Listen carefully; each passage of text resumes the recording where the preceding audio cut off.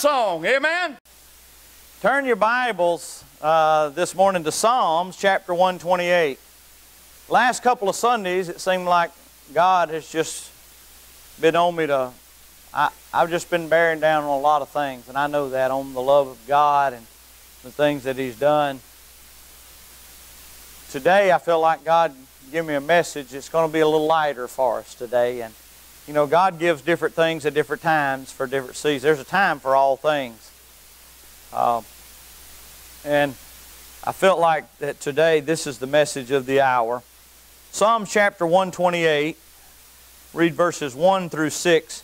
Stand with me, if you will, in honor the reading of the Word of God. Amen.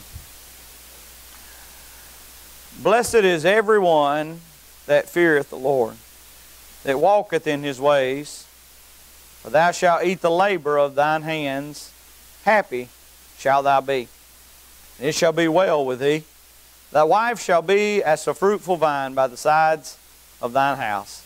Thy children like olive plants round about thy table. Behold, that thus shall the man be blessed that feareth the Lord. And the Lord shall bless thee out of Zion.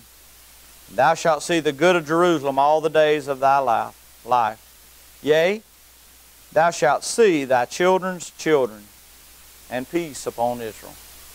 God's talking about a blessed, happy home. Anybody want one of those?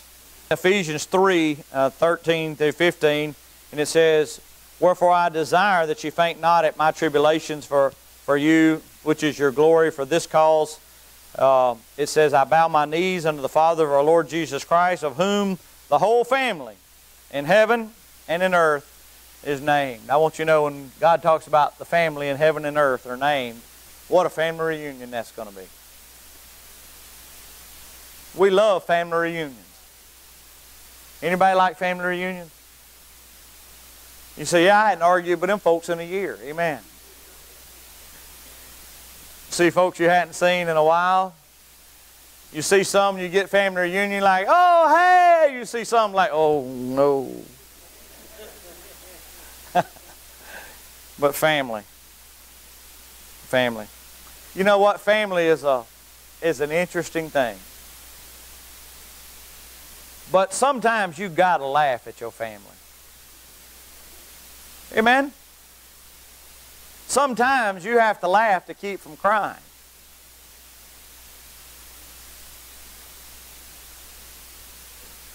I'll never forget when Tyler come told me he was a little fellow one time. He said, "Daddy," he said, "when I grew up, I want to be a Canadian."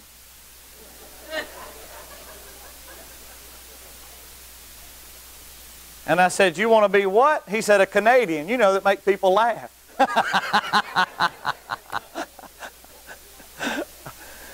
I said, yeah, they do make people laugh. Eh, Amen.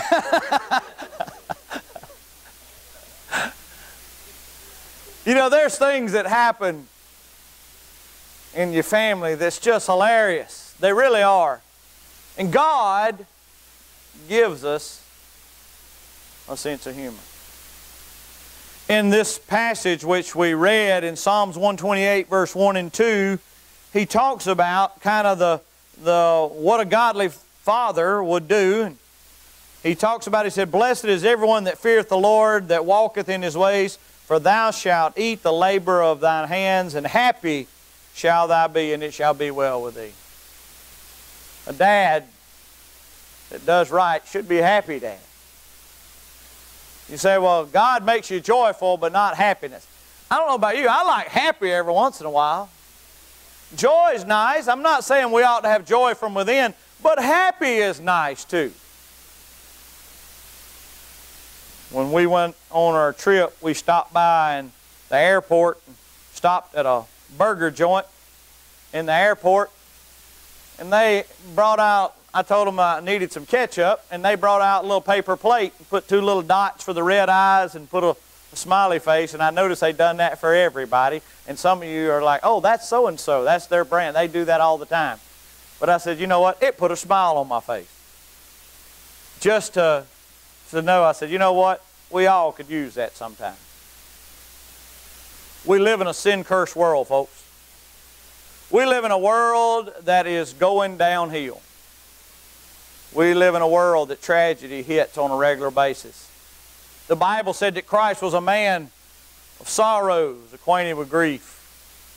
But there also said some things about him on the other side. But not only a good husband, it talks about a faithful wife. In verse 3, it says, Thy wife shall be as the fruitful vine by the sides of thine house. The Bible says a faithful wife is and a good wife, that she'd be as a vine. You know, if you've got a godly wife, you better thank God every day. There is people out there that are wondering, that are hurting, that wishes they had a helpmate to be able to walk alongside them. If you've got that, you have got something to smile about. Amen? Men? Faithful. Why? Then it says something about thy children. It says, And thy children like olive plants round about thy table. I know at our household there's always somebody around our table. We fight over who's going to get the stool and who's not going to get the stool and who gets in the chair that the screws is missing out of the bottom. I know y'all don't. You sit on it and it slides a little forward on the stool and but home can be a wonderful place. I read an illustration this past week there's a man that, this true story, he talked about, he said that him and his wife didn't want to go in debt, so they saved when their children was young and they, they raised all their money for, he said he wanted a, to redecorate the bathroom.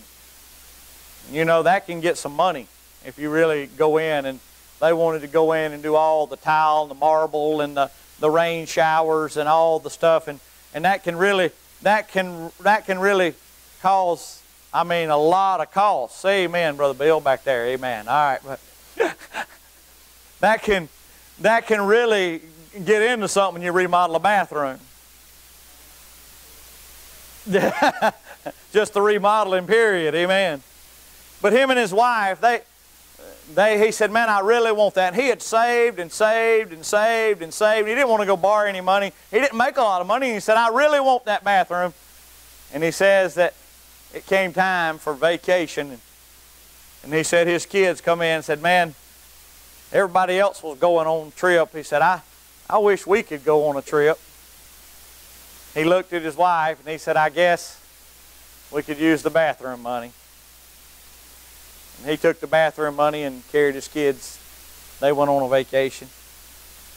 He said the next year rolled around after the vacation, he had started settling and saving and stuffing away again. He said, next year come around says, are we going anywhere this year? he looked at his wife. He said, I guess the bathroom money. well, well, well, I have to. And he did it again. He said this went on. It got to where he said it was really a joke because the bathroom wasn't ever going to get remodeled. They didn't make enough money to do both. And, and he said, so every time he put away a little money to do that, he says it was a year rolled around. It was time to do it again. He said, but his son went off and was grew up and was in the war. And he said that his dad, he wrote his dad a letter. And he said, Dad, I don't know why I'm writing this letter, but I just want to tell you how much I enjoy and how much I, I loved our upbringing. You raised us right and taught us right. And you know what? He said our family time and our vacations we spent, he really meant a lot to me. And I just felt led to let you know and send him the letter. Wasn't but a few days later he got a knock on his door and his son had been killed in battle. He looked at his wife. After all the tears was gone, he looked at her. And he said, I'm sure I'm glad that he didn't write in there what a great bathroom we had. You know, you cannot substitute time for money. When I was growing up, there was an older people on TV, and I was just a baby. But Sonny and Cher. I remember They was on TV. A lot of folks thought they was just a happy couple and they didn't make it. A lot of kids today would have Sony and chair as their parents. just a television and a chair. What is a family? It's a God ordained unit related by marriage, blood, adoption. We choose family. You know, God has brought us in and adopted us into the family of God. He asked me what I was preaching on today, and I told him family, most likely.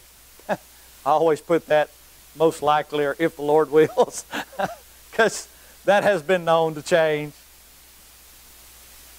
But I am so glad that God adopted me into His family. I'm saved.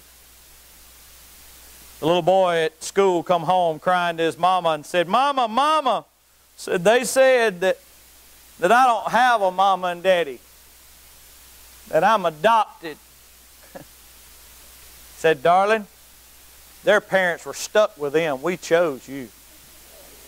And some of you today need to understand God chose you. He loved you, brought you into the family of God. God created the family to satisfy the deepest longings of our heart,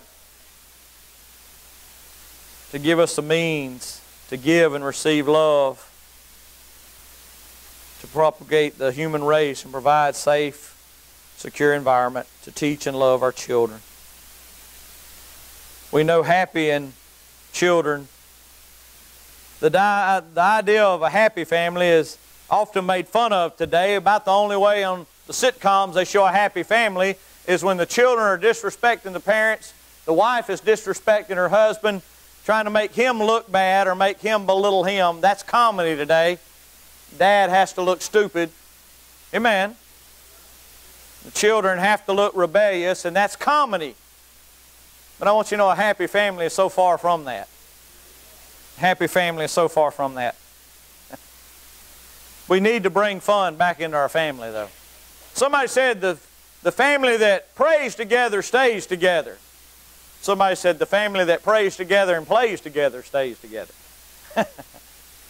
you know, sometimes you just need to have fun together. Just to have fun. The idea of a happy family. Somebody said a fundamentalist, a lot of them that we've turned into just funny mentalists instead of fundamentalists.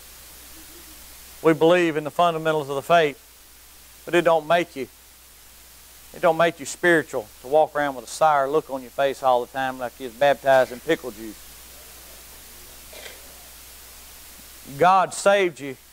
He give you a life to enjoy, not to endure.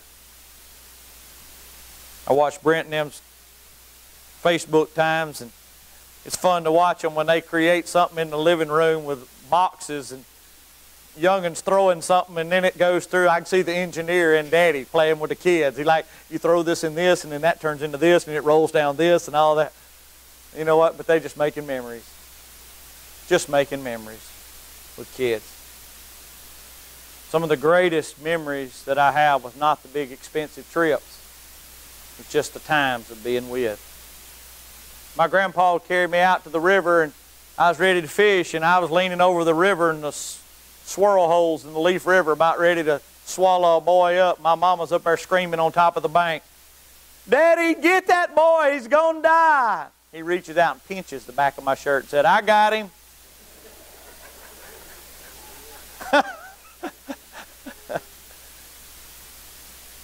things like that. You remember things like that. You remember times like that. You, you, and, and as families, listen, folks, don't let the devil rob you of time with your family to enjoy. The Bible says, rejoice with the wife of thy youth. Husbands and wives, you need to enjoy each other. It's, it's fun just to have fun sometimes. Amen?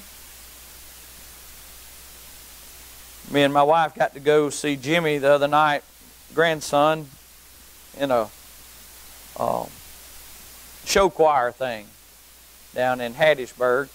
My son sent me a thing, said they was going to show choir and it was going going on at 10:30, and I sent back in the morning, right? And he went, no, at night. What? But you know what we did? We load up, we take off all the way to Hattiesburg for a 10:30 at night show. It's Friday night. For some reason, Saturday morning, I was tired. I see Dick and Jane have their grandbaby here, and my goodness, I've seen I've seen as much of your flips on Facebook as I do my own youngins. Amen. You do good, by the way. I know they are just proud of you. Listen, folks, God has give us family. Laughter is a gift from God and a happy family. Winston Churchill's immortal words said, We fight on beaches, we fight on the landing grounds, we fight in the fields and in the streets, we fight in the hills. It sounds exactly like our family vacation.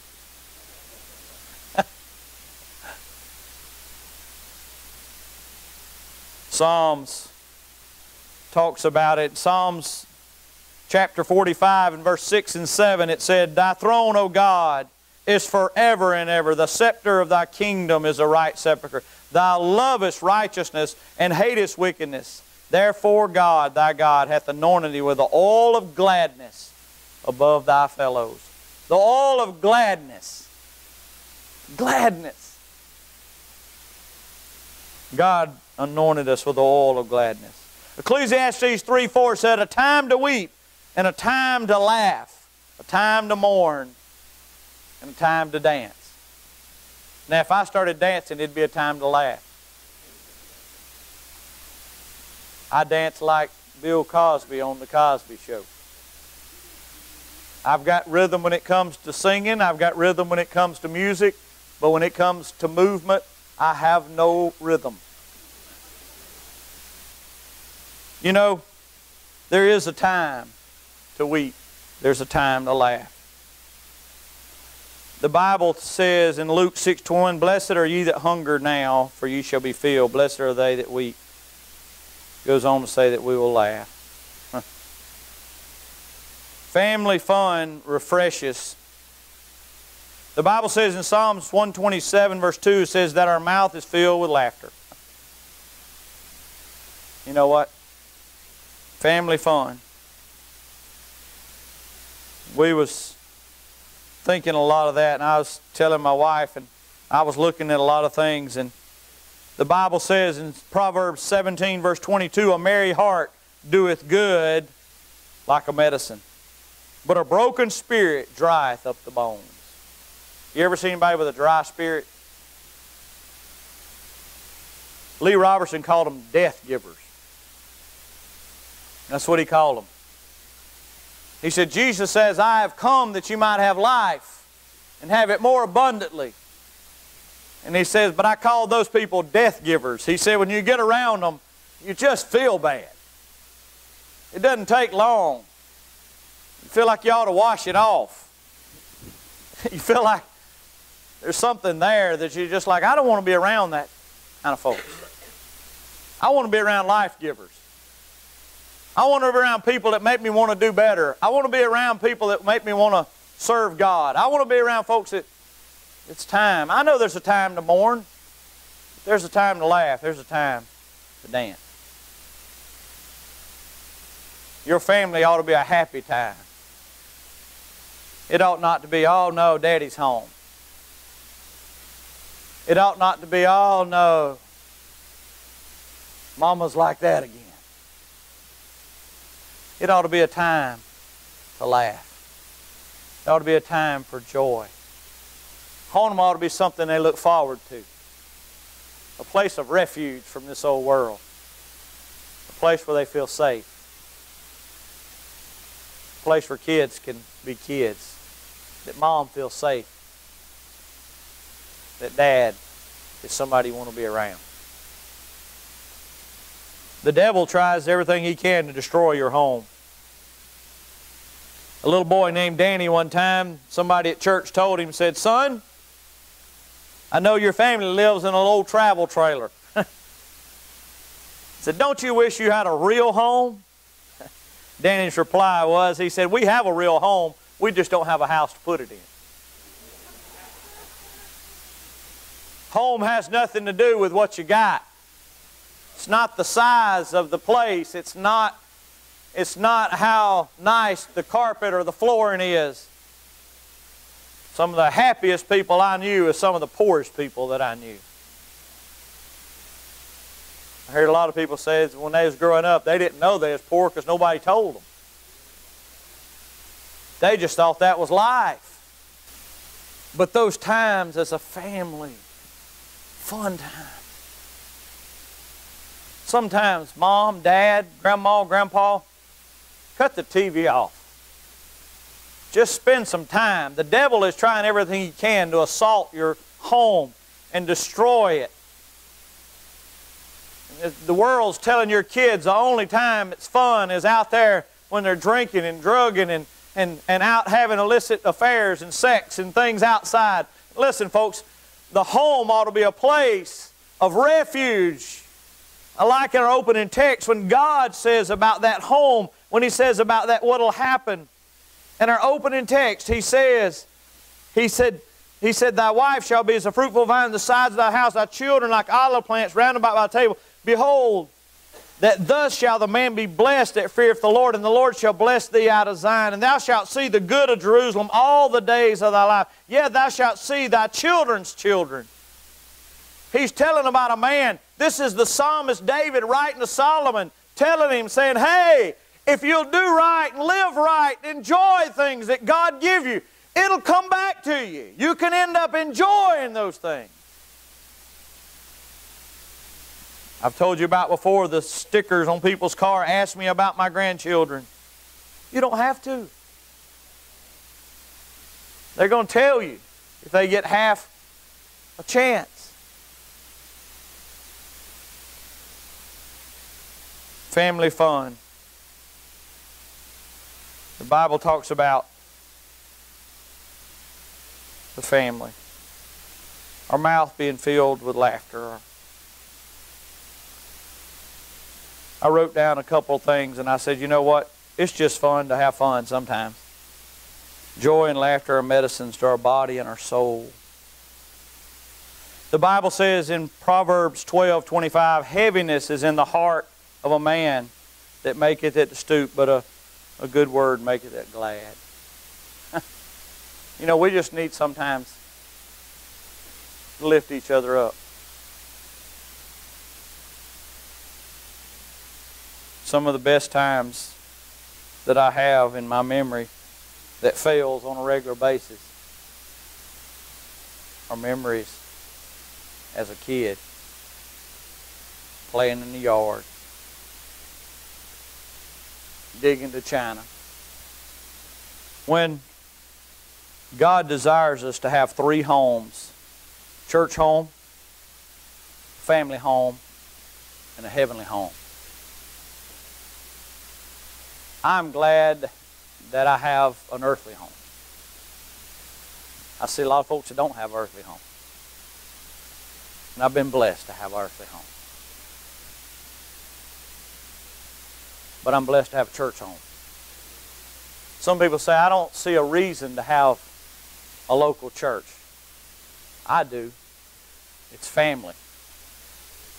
You feel like family. Family don't always get along. Say amen. But you feel like family. If you have a need, you feel like there's somebody that cares but most of all, your heavenly home. Every view I ever think about heaven, I hear children laughing in my mind. There's something about listening to children laughing. I know there's going to be praise and worship around the throne of God, but I'm sure glad there won't be tragedy. I'm glad there won't be any more hurting. There won't be any screaming. There won't be anything.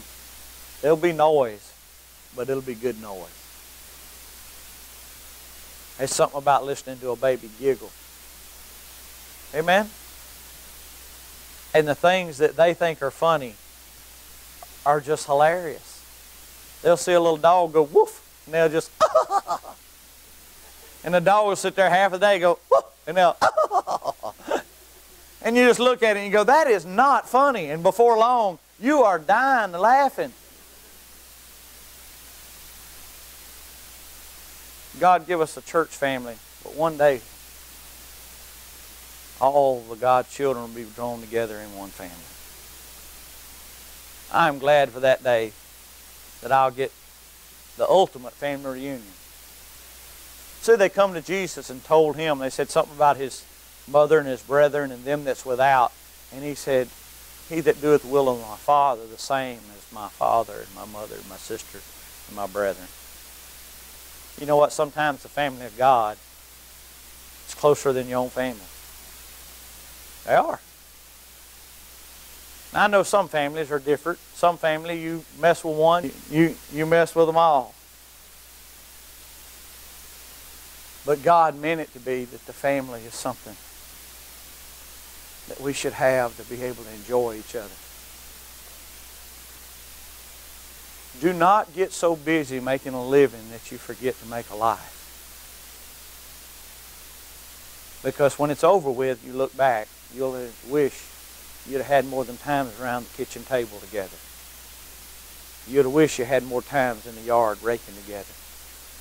You'll wish you'd had more time in that Sunday school class. You'll wish you had time to sit down and read your Bibles together. You'll wish that you had time to put those things in them that you wanted to put in them. You're here today.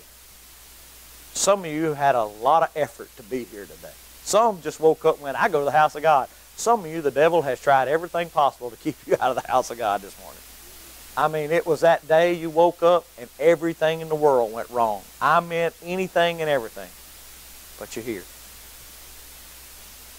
But I can guarantee you, you'll never regret when you stand before God the time that you put in to your spiritual life with your spiritual family. If you are not part of the family of God, I want to encourage you. Come on over to our side. I'm not talking about Hopewell side. I'm talking about the family of God. You'll find a Heavenly Father that loves you more than you'll ever know. You'll find a God that'll never leave you nor forsake you. That'll hurt when you hurt, but they'll also will put a joy in your heart from time. You'll find things that He'll laugh about. You say, well, I just don't see the importance of it. It's important. As we minister together and we work together, it's good.